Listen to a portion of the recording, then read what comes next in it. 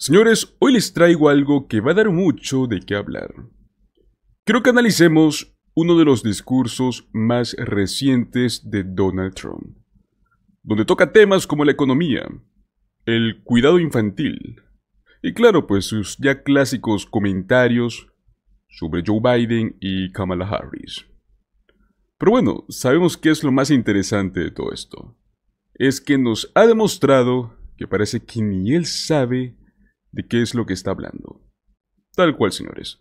Donald Trump ha dado un discurso en el cual mezcló nombres, se ha desviado de temas y ha dejado en claro que no tiene un plan claro para uno de los problemas más importantes del país. Pero bueno, no es necesario que me creas a mí. Vamos a analizar qué es lo que ha dicho y cómo lo dijo, y te aseguro que vas a quedarte con la boca abierta. Antes de empezar, si eres nuevo por aquí, te invito a suscribirte a este canal. Aquí siempre hablamos de temas muy interesantes como este, analizamos lo que realmente importa y te damos un punto de perspectiva diferente. Dale al botón de suscribir, activa la campanita y si te gusta el video, regálame un like. Esto me ayuda a traerte más contenido como este. Ahora vamos a empezar. Pues bueno, en su discurso reciente, Donald Trump no podía decidir si su oponente era Joe Biden o Kamala Harris. Es como si estuviera atrapado en un loop de confusión. Una y otra vez comenzó a mezclar nombres. Y no solo eso, también cambió los apodos despectivos que él les da. Recordemos que a veces era Sleepy Joe y otras veces era Crooked Joe. Pero lo más loco es que después se va por la tangente y habla de Harris como si ella no fuese la candidata.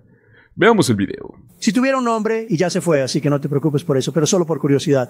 ¿A quién le gusta Joe el corrupto? ¿A quién le gusta Joe el dormilón? ¿A quién le gusta Joe el corrupto? ¿A quién le gusta Joe el dormilón? Sí, a mucha gente le gusta. Pues bueno, los analistas no tardaron en señalar estos errores.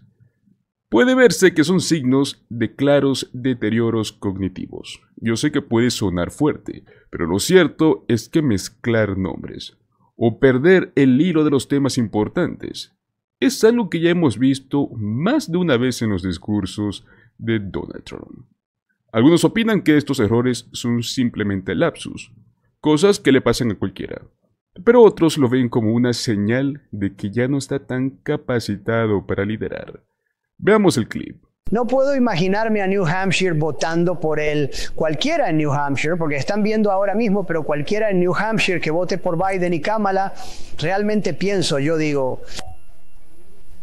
Ahora, ¿qué piensas tú? ¿Crees que son simples despistes o que estamos viendo algo más grave?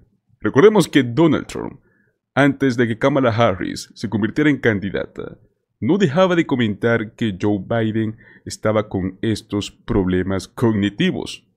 Pues bueno, creo que aquí podemos tener lo que muchos consideran como el karma.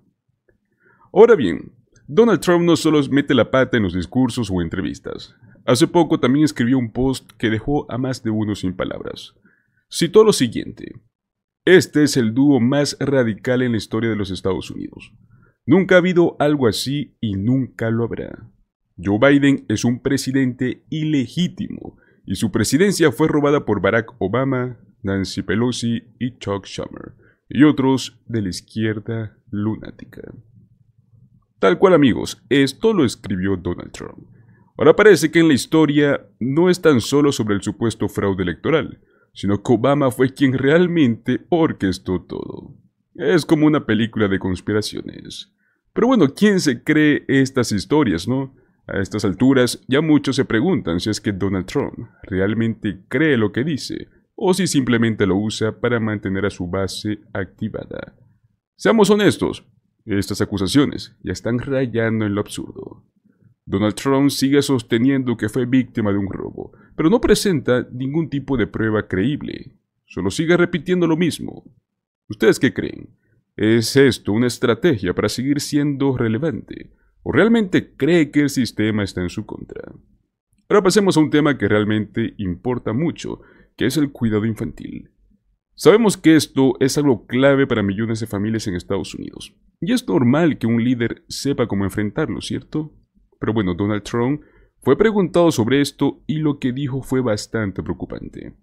Literalmente no tenía ni idea de qué decir. Es más, se notaba que no había pensado en este tema ni una vez en su vida. Fue como si le preguntaran por primera vez.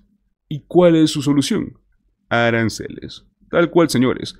Según él, los aranceles son los que van a resolver el problema del cuidado infantil. Como bien sabemos, los aranceles son este impuesto a los productos extranjeros, que al final del día terminan pagando los consumidores. Y aunque Donald Trump insiste en que este es el camino para mejorar la economía, la verdad es que no ayuda a las familias trabajadoras que necesitan de soluciones inmediatas para pagar el cuidado infantil. Donald Trump dice que también va a gobernar el país como si fuera una de sus empresas. Y aquí es donde al menos para mí me parece bastante preocupante. Resulta que su plataforma de redes sociales, Truth Social, ha perdido el 80% del valor desde que salió a la bolsa en el mes de marzo. El 80%, señores.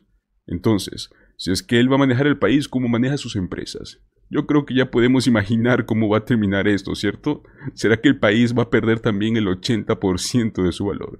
Porque lo cierto es que su historial empresarial recientemente no es muy prometedor. De hecho, su empresa o su organización Trump fue condenada por fraude fiscal y tiene una responsabilidad civil de 500 millones de dólares. Así que si está dispuesto a aplicar el mismo estilo de gestión en el país, yo creo que ya sabemos al menos lo que nos espera.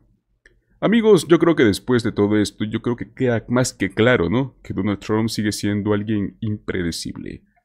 Entre confundir a Biden con Kamala Harris, inventar teorías de conspiración y proponer soluciones económicas que no tienen sentido. Es difícil verlo como un líder sólido, y más aún si va a gobernar tal y como maneja sus empresas. Yo creo que debemos prepararnos para una montaña rusa. Ahora quiero saber cuál es tu opinión.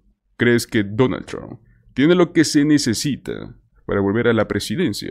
¿O simplemente ha perdido el control? Déjame tu comentario aquí abajo. Quiero saber qué es lo que opinas.